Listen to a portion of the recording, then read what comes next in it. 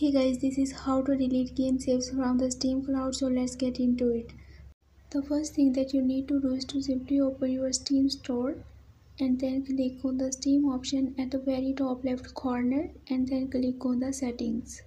Alright, when you are here in the settings, you have to just click on the cloud option in the left menu. So here you have to just uncheck the first option at the right side of this interface which is enable steam cloud synchronization for the application. Which support it. So you have to just uncheck this option first then click ok in order to save changes. Once you done you have to just right click on any of the game for which you want to save clouds and then right click on it then click on the properties and here click on the local files.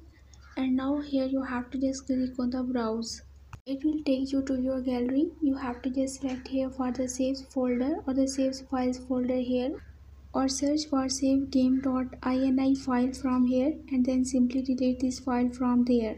So once you delete the save or the save game files from here you have to just click ok.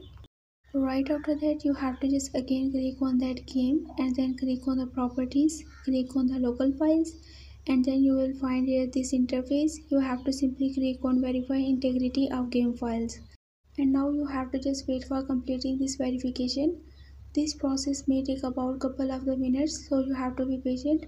So after completing this process your game saves from steam cloud has been done successfully. So that's all for this video. I hope this video was a big help for you. If you have any question you can leave a comment below. Thanks for watching